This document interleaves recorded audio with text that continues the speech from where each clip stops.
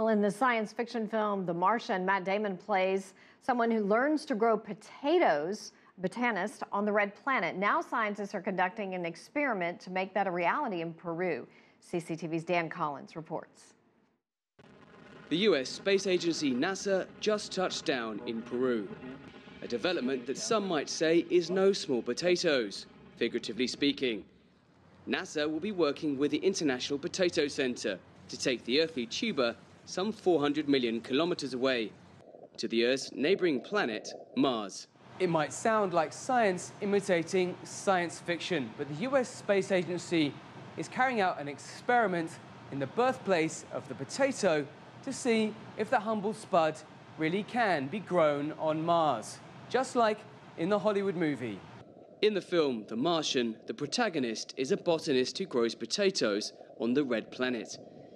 The planet's surface gravity is just one third of the Earth's, and it has an atmosphere mostly made up of carbon dioxide, but lacking oxygen.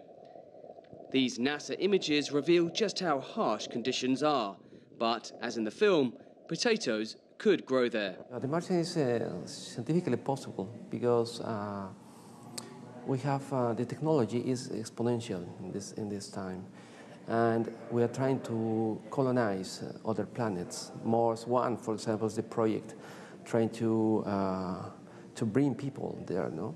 Odds are, says Valdivia, these highly nutritious vegetables could colonize Mars before humans do.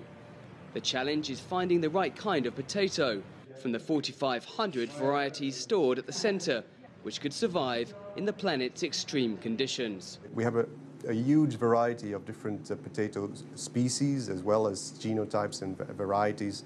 And they grow anywhere from uh, the sea level all the way up to more than four and a half thousand meters above sea level. And so we have all this variation, uh, which we can tap into to be able to um, see if we can grow some of these uh, varieties in, uh, in the extreme conditions that you would find on Mars. The team will simulate Martian atmospheric conditions in a laboratory using soil from Peru's Pampas de la Joya desert when the experiment begins. The successful spud would be cryogenically frozen in a trip that would take more than nine months, then cultivated in a controlled dome on Mars.